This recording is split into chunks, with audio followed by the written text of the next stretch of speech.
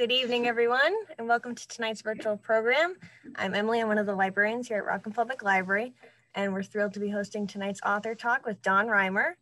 Uh, I want to start out the night with a couple of quick programming notes on upcoming virtual events here this month at the library. Uh, next week on February 11th, Tim Caverly of Allagash Tales will be providing a Valentine's Day themed presentation on the story of him and his wife, which takes place in part on the trails of Baxter State Park. The following week, on February 18th, we have our first virtual film screening of the year. We will be showing Tribal Justice from the film series POV from PBS. Uh, and I'm happy to introduce tonight's speaker. Uh, Don Reimer of Warren, Maine is a lifelong birder and photographer. He has served on several local projects relating to bird data, and he has led field excursions for local environmental organizations. His bi-monthly column, Birding with Don Reimer has appeared in the Rockland Free Press since 2007. And I'll turn it over to Don. Thank you. Thank you, Emily. Good evening, everyone. Um, so yes, I have a I have a new book out. It came out in September. It's called Seen Anything Good? Seasons of Birds in Mid-Coast Maine. And the title, that's a little bit misleading because the topics in the book really span a whole lot of other things uh, that pertain outside of the mid-coast area. But um, all the experiences and uh, and the descriptions in there are pretty much from uh, from local uh, sites. So uh, this is the this is the cover photo. It's an osprey that had captured a, an alewife uh, back in May, oh, probably six or eight years ago down here in Warren. And the bird, I was standing on a bridge and the bird flew right at me with the fish uh, in its talons and I had no choice but to take this picture. So both the bird and the fish were paying strict attention when I when I snapped the shot. And I was very fortunate to get get a shot like that, I think. So um, I want to read you just a, a paragraph uh, out of the book. It's in the introduction. And I, I want to say that um, I, I became I became interested in birds when I was just a, a young man, probably six, seven years old. My mother, we had lots of had some bird feeders and she was a great nature lover. So that was what sort of got me started. But things were different back then. So this paragraph I'm going to read, this would be in the oh late um, uh, 1950s, mid 1950s. The number of birders or bird watchers, as they were termed in those same decades, was limited along the coast. A recollection of seeing two birders probing through roadside shrubbery at Pemaquid Point comes to mind. I was intrigued by the binoculars around their necks and, and the purposeful manner of their quest. The pair stood riveted on some obscured bird seemingly oblivious to the cars slowly driving past them a few feet away. With great envy, I pondered what they might be seeing. And I'd already come to understand that bird watchers were an eccentric bunch and perhaps even a bit ditzy. But whether bird watching implied eccentricity or ditziness, it didn't matter to me. I was eager to sign on and that's sort of the way it was. Uh, I spent uh, pretty much the rest of my life uh, interested in birds, and uh, and lots of experiences with them, lots of citizen science things that I've done. Uh, and what I want to do is to uh, just share with you some of the some of the photos from the book. There are 40 colored photos in there. this is Weskeag Marsh, and probably local folks realize this is Buttermilk Lane here in the background. And, and the name of the book, the title, Seen Anything Good, that's a typical greeting that uh, birders uh, will say to each other when they meet in the field. Hey, seen anything good? Well, it depends on what you what you um, mean as good, because uh, it's a relative term, and it and it uh, really depends on what your uh, experiences and your expectations are for that day. And, and probably uh, in a group like this, these folks all looking at a, this happened to be a rare bird. They were looking at it was a ruff, which is a Eurasian shorebird. But typically in a group of birders, um, there will be folks who might say, gee, that's a great bird. Other people said, well, I've seen a dozen of those, so it's not, you know, it's so-so. But you have to realize, you know, we're used, all of us around here are used to seeing blue jays. They're pretty common in our feeders in the neighborhood.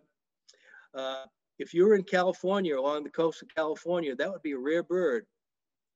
That would draw all kinds of people hoping to get a look at that rare bird, which we take for granted here because it's it's a Maine bird. And the same thing with with a chickadee. We we all have chickadees if we have feeders at all, and uh, in out in California that way they would have different types of chickadees, different species of chickadees. So it is really uh, it's a relative term. What what good means. And this is uh, this is May. This is Warren Village, and every year there's a most years there's a big group of birders who come from all across the region. People come from Pennsylvania. They come up here because they want to take pictures of ospreys catching fish. And there's one thing about the river in Warren, it's narrow and, and the birds just drop right in almost at your feet. And it also is a, birding is a, is a big economic uh, benefit to the state. It draws a lot of people, a lot of money. I mean, how many people do you think have come to Maine hoping to see a puffin, go out to see an Atlantic puffin? So these these folks, I talked to some of them, and one guy told me that he comes up and spends an entire week up here, and he probably spends a thousand dollars or more between lodging and food and gas. And he said, "Well, I have ospreys at home, but I don't have anything like this, and I can get more pictures here in one day than I can get in an entire season where I live."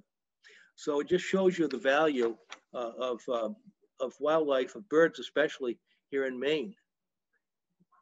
Now here, this is my grandson when he was 18 months old. And he was having a good bird day because he was looking at an American robin. And he was pretty pleased with that robin. He was pretty pleased with the, with the binoculars. But uh, this is 18 months old and look at him. He was just riveted on that, on that robin. So, um, you know, it just shows you, uh, you know, you can get a lot out of nature. Uh, and it's just, it's a great experience for all of us. So uh, as uh, Emily said, I've been writing a column for the Free Press since 2007. And uh, through the years, I never really intended to write a book. Uh, lots of people approached me and said, geez, when are you going to write a book? Well, finally, I, I did.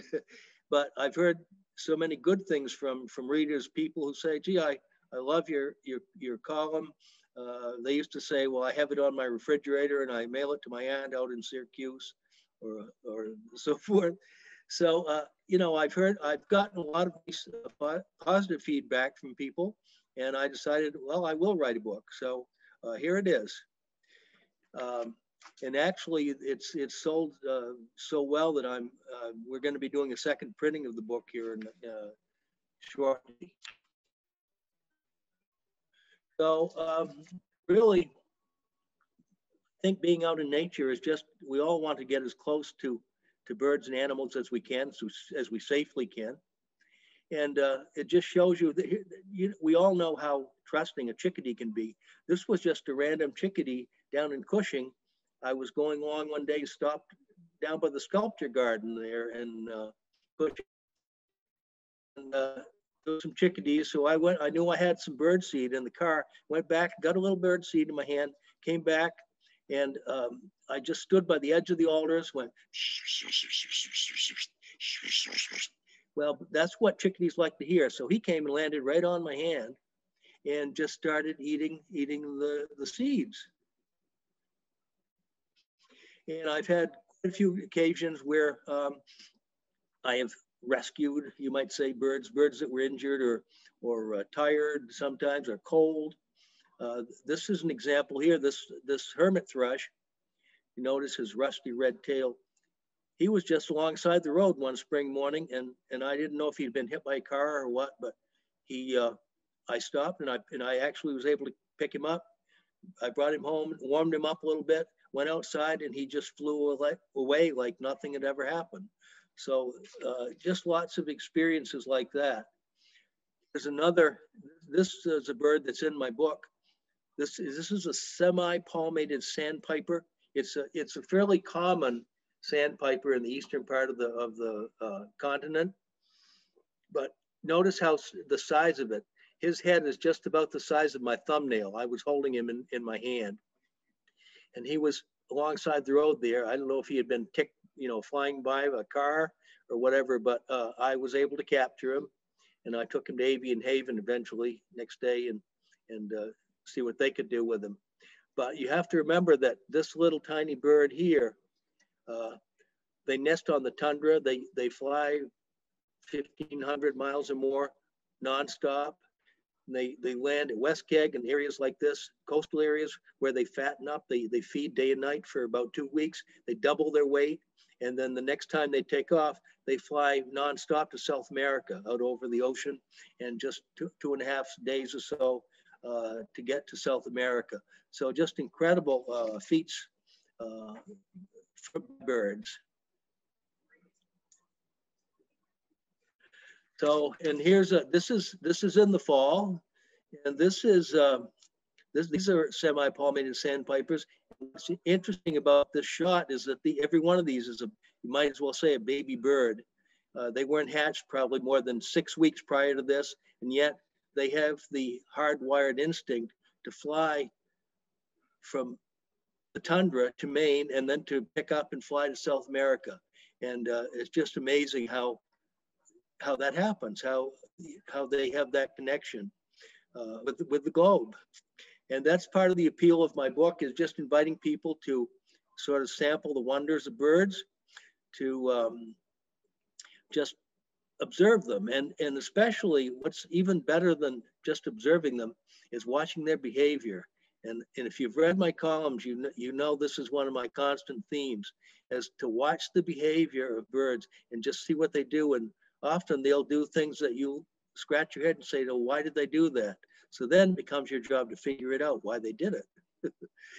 so, um, you know, that's that's the that's the, the, glory of birds is is just uh, is seeing what they might do, and especially um, species and how they interrelate to each other. That to me is the most interesting part is how different species will, when they're put together in a close environment, what they will do. And you'll see a photo here in a little bit of a, of a raven and a red-tailed hawk and, and how they're working things out. And the book has, it has, it's not, it's not a field guide at all in the in that sense, but there's a lot of information about identification in there. There's some information about migration, the ecology, the biology of the birds. This is a this is a Hudsonian godwit, and this is another you might say young bird or baby bird these guys, this happened to be Thomaston uh, Flats where I photographed the bird, but this larger shorebird species often overflies the entire North American continent, just over the United States and goes to Cuba or South America nonstop, four, four, four, five thousand miles. So they're just just incredible uh, what birds can do. And birds, the, uh, the book has a variety of, of birds in that are common birds that we, we, we know about, that we see all the time. But you, there might be some information in there about eastern bluebirds, for example, that you weren't aware of. In fact, we have we have four in our yard uh, every day now. They've been out here uh, picking on some berries, just like this guy here, this male eastern bluebird. They've made a big comeback since the uh, days when uh, uh, you know the, the bluebird trails were established to give them places to nest. And then there are rare birds in there. This is probably one of the rarest birds that we've seen in Maine, we had seen in Maine uh, ever. This is a great black hawk. It's a Mexican desert hawk, which somehow ended up in Portland, Maine. It, uh, it crossed the country. They, they, it was seen in Texas, the very same bird. And uh, the next time it was detected, it was in Biddeford and then uh, at Deering Oaks in Portland for, oh, a couple of months.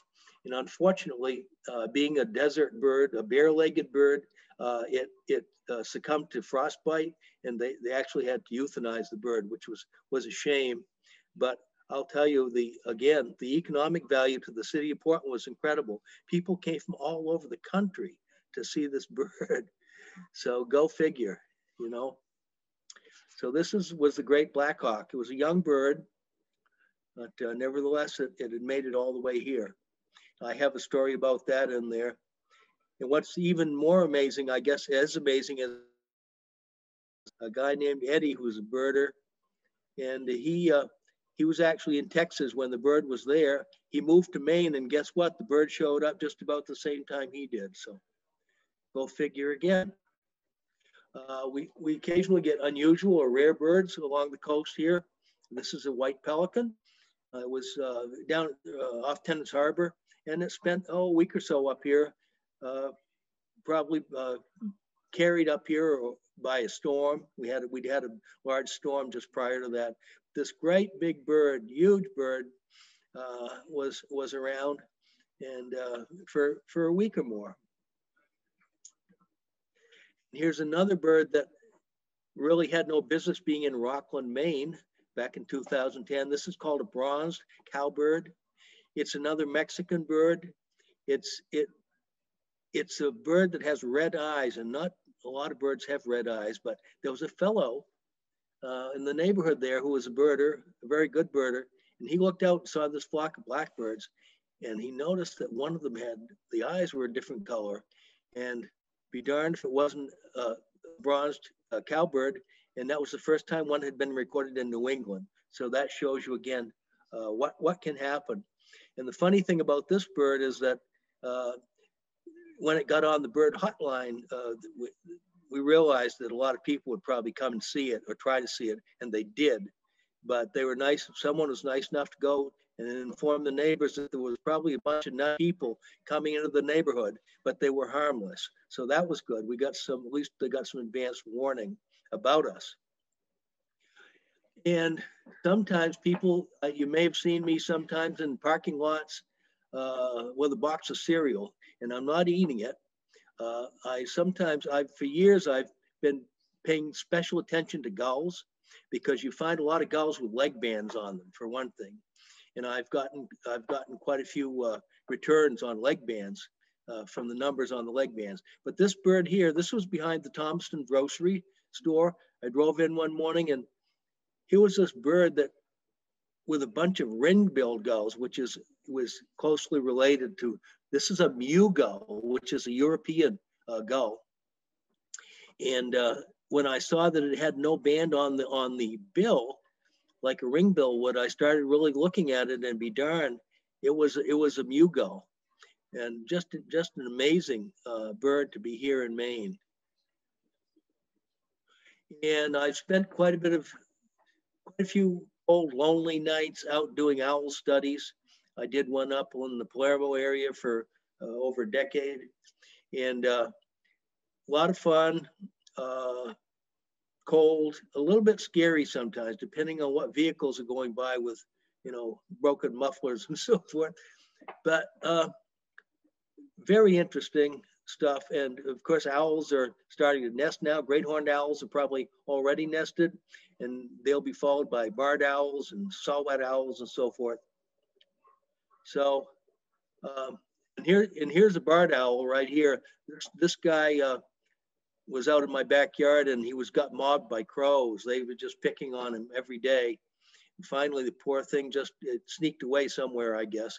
But uh, crows love to harass owls. If they see an owl, they will go out of their way, right out of the area. Barred owls are the most common owl we have around here. It's a brown-eyed owl. So any owl that you see in Maine with brown eyes, 99% it's a it's a uh, barred owl. Uh, great horned owls have yellow eyes. These guys, snowy owls, they have yellow eyes. It's been a, a pretty good winter for snowy owls. They've been at the Portland Jetport. There's been some over Clary Hill Way, uh, Beach Hill, some of those places. Any place where there's where there's barrens, where there's uh, uh, low uh, growth. Uh, the air, airport's a good Owl's Head Airport. I one time I saw three there all-in-one binocular view. That was one exceptional winter when they were just down here in droves. But this has been a good year as well. And sometimes bad things happen to good owls.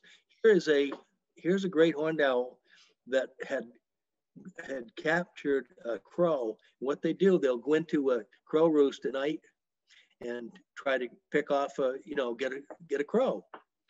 And this owl had had had captured a crow and was flying across Route 17 early one morning. He and his victim both got hit by a car, and there they lay together on the pavement. The owl still attached to the crow. He just had his talons firmly right into his flesh. Uh, interesting, interesting stuff. If you're looking, you're going to see. That's that's my motto. You have to have to be curious. You have to look around. Be prepared. Be prepared. I always have my camera with me when I'm out in the car. And of course, we have lots of hawks around here. Red-tailed hawks in the wintertime, they're, they're all over the place. If you see a big, bulky hawk on a, on a utility pole or on a line or uh, in a hardwood tree somewhere, and he has a big white chest, it's going to be a red-tailed hawk. They're they're a mouse-eating hawk. They'll they'll catch uh, squirrels as well, gray squirrels, but it takes them a couple of years to get that red tail. The first year is sort of a, a gray uh, striped tail. Very uh, powerful uh, raptor. And you don't want those to get a hold of your hand. I was at a banding station one time. They'd captured one, and the fellow said that he had been uh, footed by them, meaning that it, one had grabbed him before, and he said it was not a fun thing. He cried, he said. And of course, we have peregrine falcons around now. This one was in, uh, in Rockland Harbor. Uh, there's a pair that, that winters around between Rockland Harbor and the cement plant. Most winters, there's also a, a, a pair in, in Camden. And they love pigeons. They will, in the morning, they'll come and chase pigeons around uh, the place. Uh, and they, they're pretty effective. They usually get one. They usually get their breakfast. This was a large female falcon here who was carrying her her prey over to she went to the top of a mast on one of the windjammers in the harbor and started plucking the feathers off. And before you know it it looked just like a Perdue chicken. She just picked it so clean you could see all the the um, uh, the skin just just like a chicken you'd buy at the supermarket. It took her about 45 minutes but she ate the whole entire bird. So very powerful uh, bird.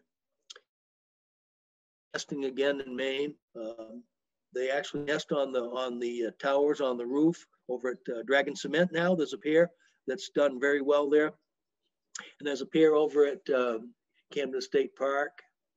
Uh, any place where there's a high, they have to have a high uh, area to to uh, to to be and They want they have to feel safe, and they want to be up high where they can they can look around and see prey as well.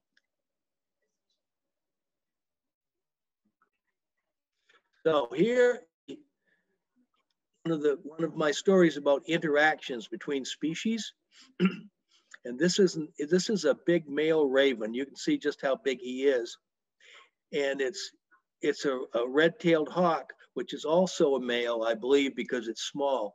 All the uh, birds of prey, all the raptors, the females are larger, sometimes up to a third larger than the males. But just quickly, uh, my wife and I had a oh, 12 pound turkey in our freezer one fall. And just before Thanksgiving, we had a big snowstorm. We lost the power for about four days. And it was very cold, but it wasn't cold enough to keep the turkey, frozen turkey, frozen. So when we got the power back, my wife said, You need to throw that turkey away because it's no good, it's spoiled. Well, I felt of it, it didn't, it didn't feel, it still felt hard. So I decided that I would just keep it for a while. And uh, so um, a month later, I drug it out of the freezer, went out back and tethered it to a clothesline pole. And I just wanted to see what would happen. Who would come? Would eagles come? Would gulls come? Who would come? And my wife thought that this was a waste of time. But one day she was doing dishes and looking out in the backyard and she suddenly screamed. She said, Oh my God. Well, there was a bald eagle standing right on top of the turkey, just ripping, ripping the flesh off it. So, and shortly after that, this, this huge raven showed up. They're, they're almost twice the size of a crow. They're just huge birds, great big, notice the bill there and he pretty much took charge of the yard. He bossed everybody around except the eagles, but he bossed the gulls and the, all the hawks, everybody that came here. This guy would actually just walk out, spread his wings, and just walk toward them, sort of like Herman Munster. Just open his big uh, bill there and threaten them, and they would leave. They would all leave.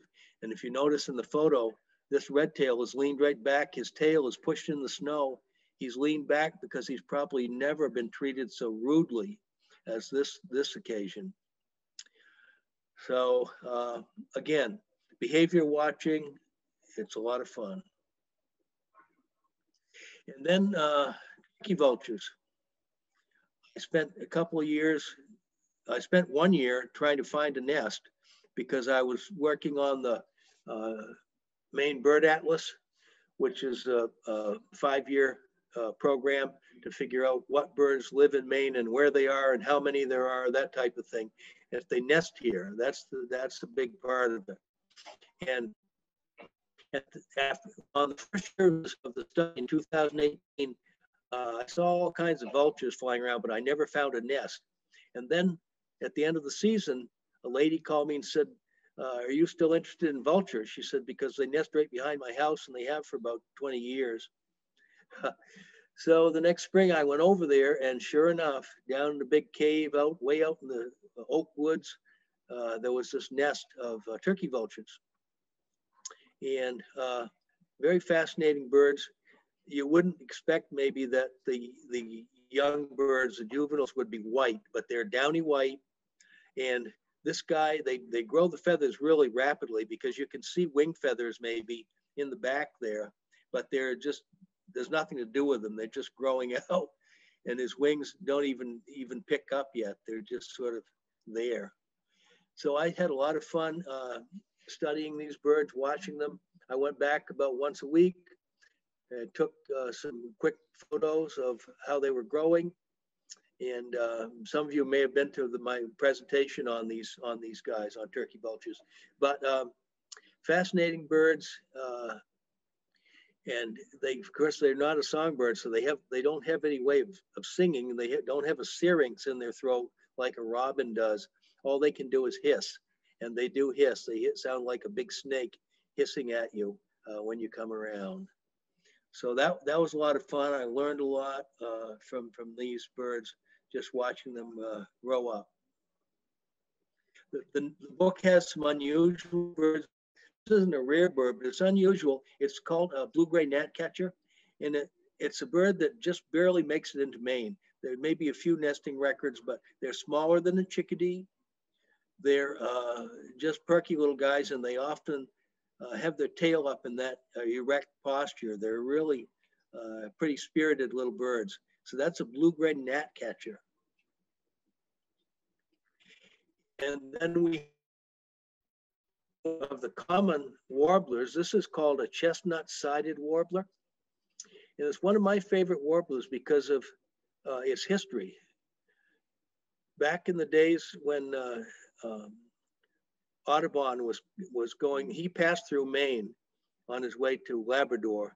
And in his entire life, as much as Audubon was out in the in the woods, he was probably more than anyone else, anyone I ever knew of. He only saw two of these birds his entire life.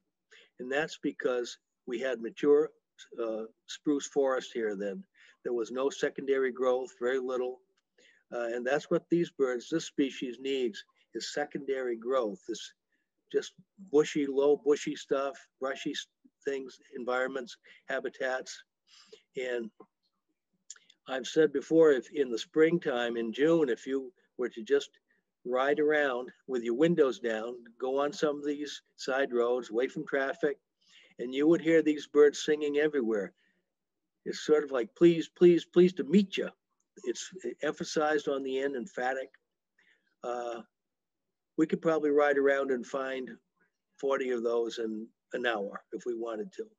So that's how things change. Shows you also the effects of habitat on things, how uh, without habitat, you know, nothing, nothing really uh, does that well. It can't because that's that's where where it's intended to be is in this type of habitat.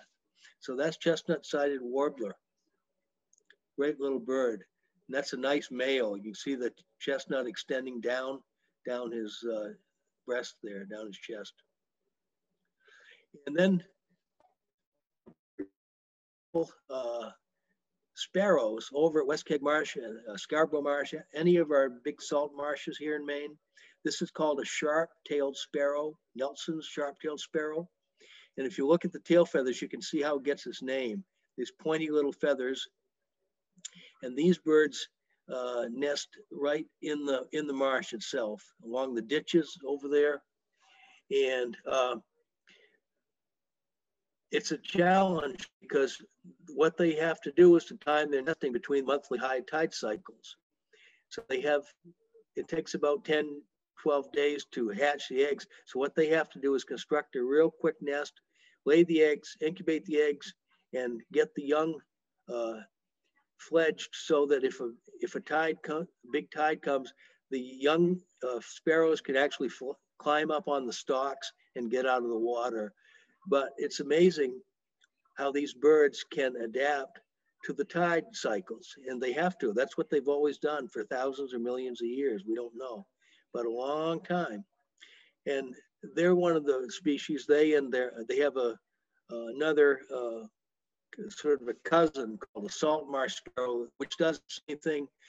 Their, their uh, future is somewhat uh, uh, in question because of the increasingly high tides that we're getting uh, all the time, and and we are it is it's creeping up gradually, and uh, we don't know at some point if these birds will be able to adapt to that or not. But they're they're trying. They're certainly trying right now.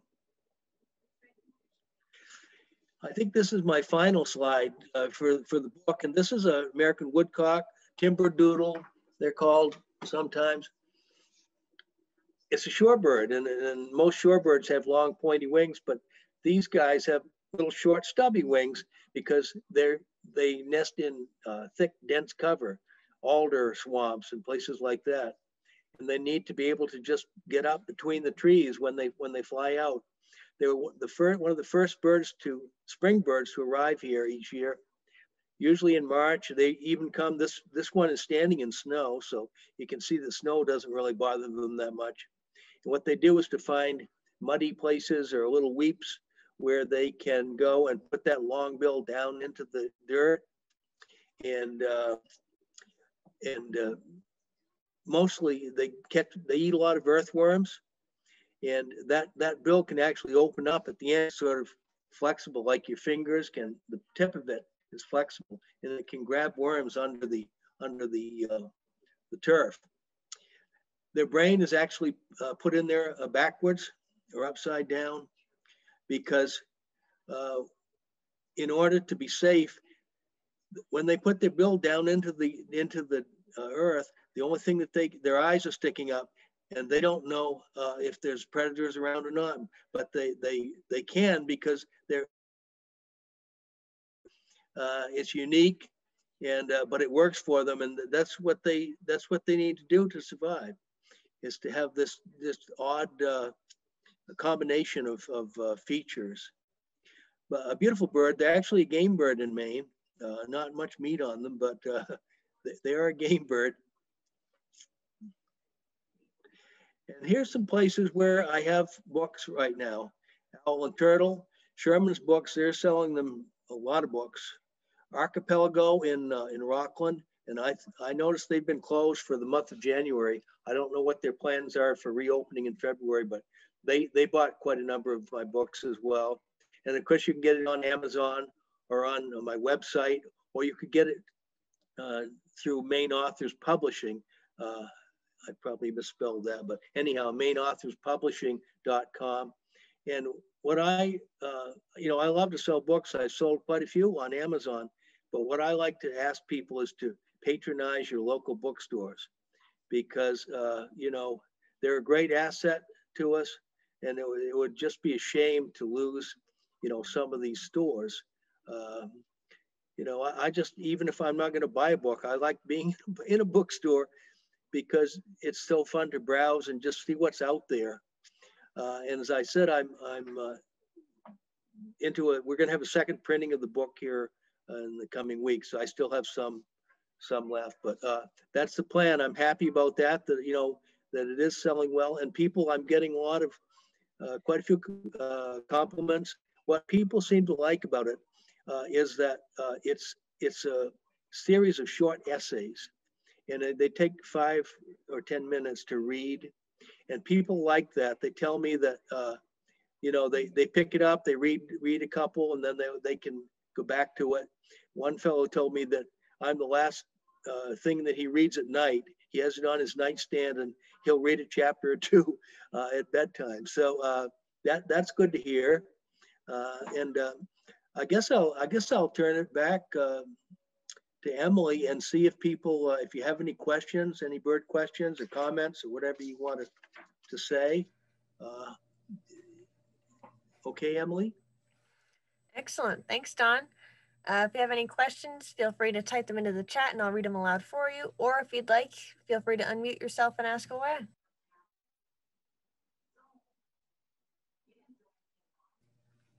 Lester asks, what do you think of the proliferation of turkeys we see these days? Of, of turkeys? Is that what the question is about yep. turkeys? Proliferation of turkeys, yep. Yeah. Well, I don't want to say anything bad about a bird, but there are a lot of them right now. You know, they were introduced twice. The first time it didn't work because the state uh, set out some turkeys around southern Maine. I think it was back in the 1970s. And um, it, it wasn't very successful at all. But the second uh, time that they did that, the birds obviously caught on. Uh, they're, you know, they're they're just everywhere. I mean, the you can see um, 30, 40 in a, in a farm field, some of these big fields at times. In nine season, I think they've increased the bag limit a little bit, which maybe they maybe they should. Uh, they, they, I think one of the reasons why they do so well is they are a hardy bird, and they can even rake down through you know quite a bit of snow. They eat acorns and apples and stuff a lot. But the other thing in their favor is that they roost in trees at night. They're not a bird uh, that uh, is on the ground a lot. So they're probably spared a lot of, uh, of uh, damage by doing that. Uh, it's amazing for such a big bird, they can just fly straight up into a tree. It's just incredible to see. Um, so, you know, year, years ago, uh, well, I don't want to spoil my book, but I'll tell you a quick one that I was at Weskeag Marsh one time in the parking lot, and this truck went by going like blazes. He went up the hill, and just as he got up the top of the hill, he struck this great big tom turkey. It was thud. I could hear it way down the road. Bang, feathers are flying. So I went up to get the retrieve the bird, just get it out of the road. It was right in the right on the center line. And when I got into the side of the road, these two fellows with a in a sports car with the top down and a big dog in the back slammed their brakes on and came to a stop and said, "Are you going to eat that thing?" And I said, "No." so they they they took the dog back home because they didn't think that would work well, having it in the back seat with the dog. They came back and, and, and took the turkey home to eat, I guess. So that's that's about all I know about turkeys. They're uh, they're doing very well. Who else out there? Noel asks, how can we participate in the bird count? I have plenty in my yard. Uh, well, well, the Christmas bird count, I can just talk about that briefly.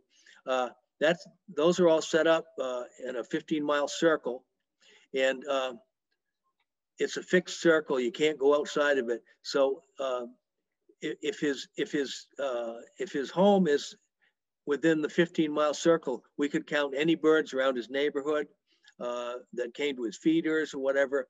Uh, for the Rockland Thomaston count, I have a, a number of people who uh, who do that, who feeder watch um, during the day of the Christmas.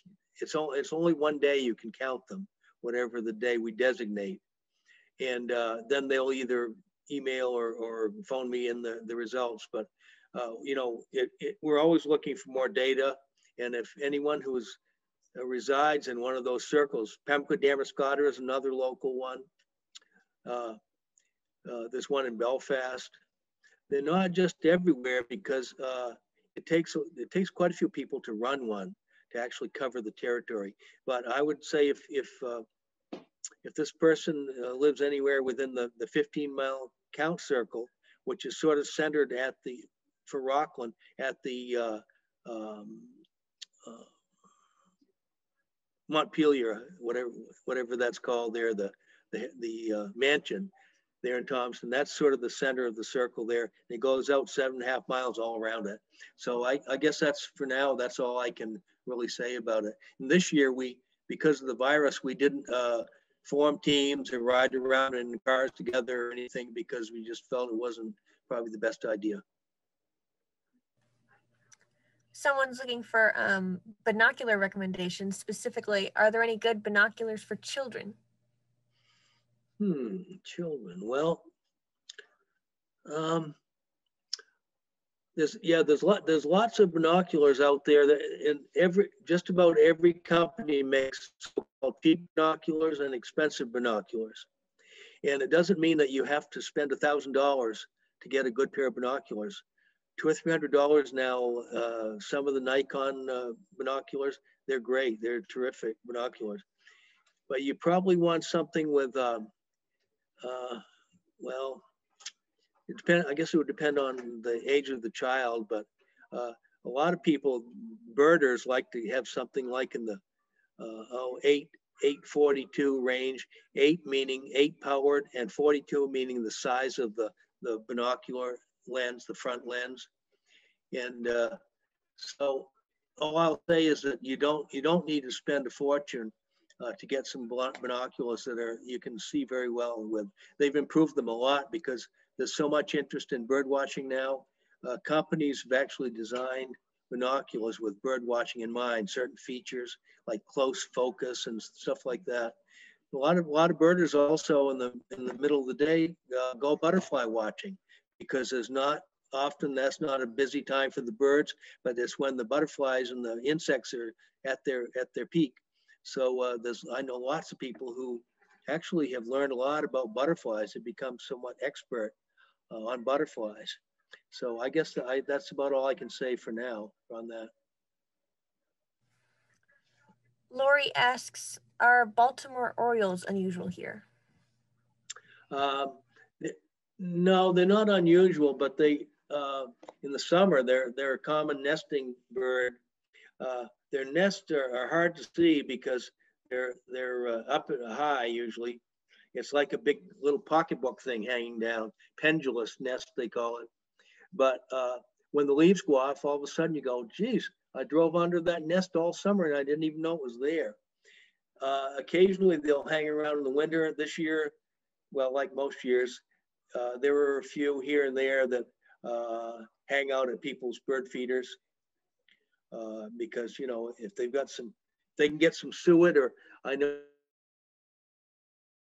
Well, she was treating them like royalty. They were she was getting them grapes and oranges and all kinds of stuff, mealworms. Uh, she was really those that Oriole got treated very very well.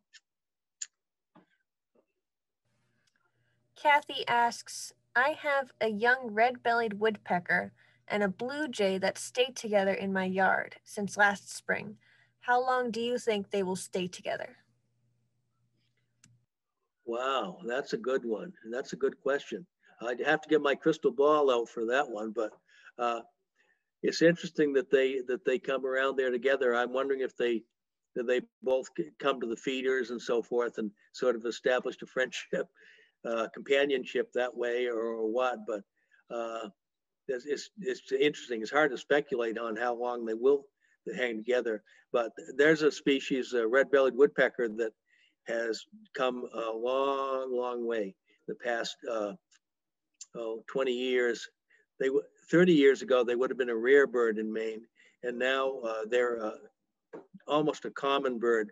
We have we have a pair that nest every uh, year in our neighborhood. They'll you'll bring usually have a couple of young. That's a bird that it was used. To, it was a southeastern woodpecker, mostly from the southeast, and now they're established well up into Maine, even beyond the coast areas. So uh, quite amazing, really, how how things can change. Lester asks, can you comment on why I tend to see one or two tufted titmice hanging out in a flock of chickadees? Why aren't there as many titmice as there are chickadees, and why do they hang out together?